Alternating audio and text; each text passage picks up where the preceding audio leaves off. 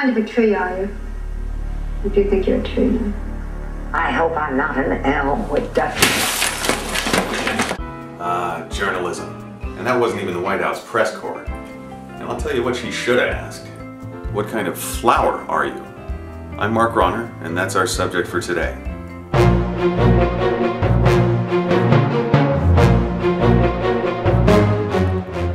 That's right.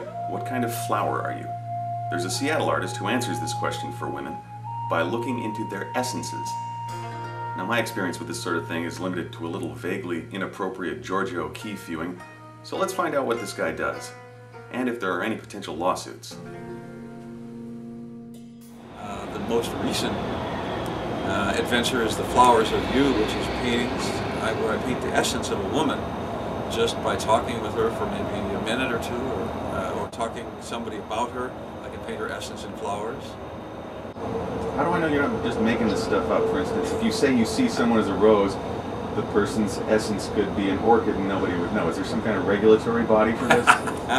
well, it, really comes down to how well the person likes the painting. And I've had stories from people that are, I mean, truly amazing. Like, they'll come up to me and say, those are the colors I have in my apartment. Or one, one woman recently said, it just totally captures my daughter, totally captures her warmth and her uh, goodness, and just things like that, where it seems to be hitting the mark. I'm not a trained artist, but I just want to see what you think of this. Here's one of an ex-girlfriend. I can see why she's an ex-girlfriend. I think she'd be mad that I made the stem too wide. so this is Oprah right here. Tell me how you came about. I can't really put it into words, and that's why I paint it. But it just, it was just somehow I get my feeling about the person and then put it on the canvas. All right, so if that's Oprah though, shouldn't the canvas be a little larger? one would, one would think so. Let's try something here. I'll tell you the names of some other women, famous women, Okay. and you tell me the kind of flower you think captures their essence. I, okay, I hope I know the women. Condoleezza Rice. I'm, I'm a terrible politics person. I don't really keep up Okay, with I'll, I'll help you out on this one. Okay. Titan arum, also known as the corpse flower. Octomom. Boy, I must apologize. This is I, I get I get made fun of by friends of mine all the time. They think I live on another planet. All right, I'll help you out on this. too. Okay. Dandelion. Dandelion. You get that? Spores. Miss California.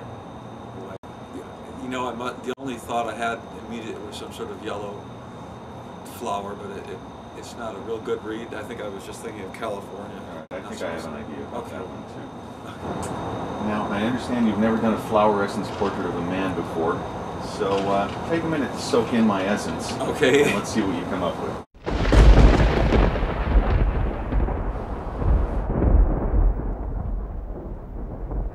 Right. What does this say about who I am? See, that, that's what is so difficult. Again, it's so much not in words. But for some reason, when I talk to you or just perceive you, this is an image that somehow captures you to me, and I have no idea. I don't know why that is exactly. It's not. Now let's sum up.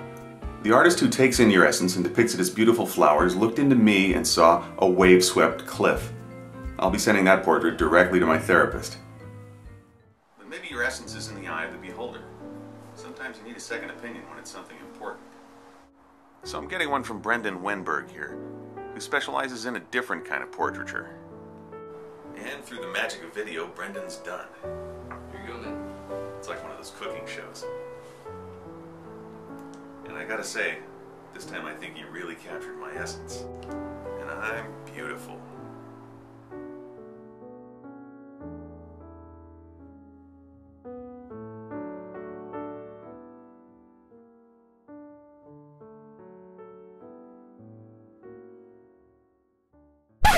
You're focusing right now on Mother's Day, so how do you feel about painting a portrait of my mother? I would be excited to do that. Her floral essence. I would be very excited to do that. Yeah. Come on down, Mom. Thank you. Hi, Robert. Hi. Hi, Mom. Okay. What are you thinking right now?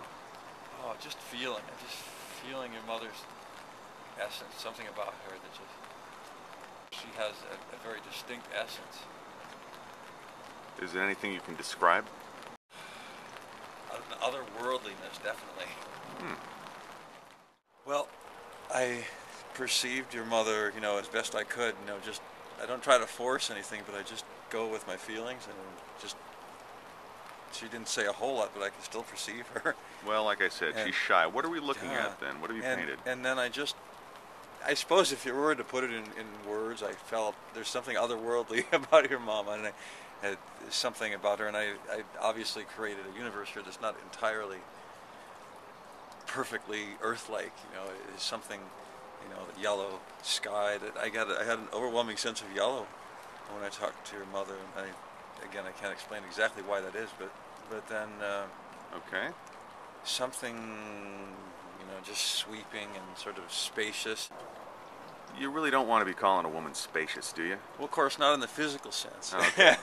All right. but but in the spiritual sense you know there's a yeah you kind of get the sense that there's a, a, a depth of a person there that there's a depth to them a spaciousness in that sense where you, where there'd be perhaps some unusual large space to explore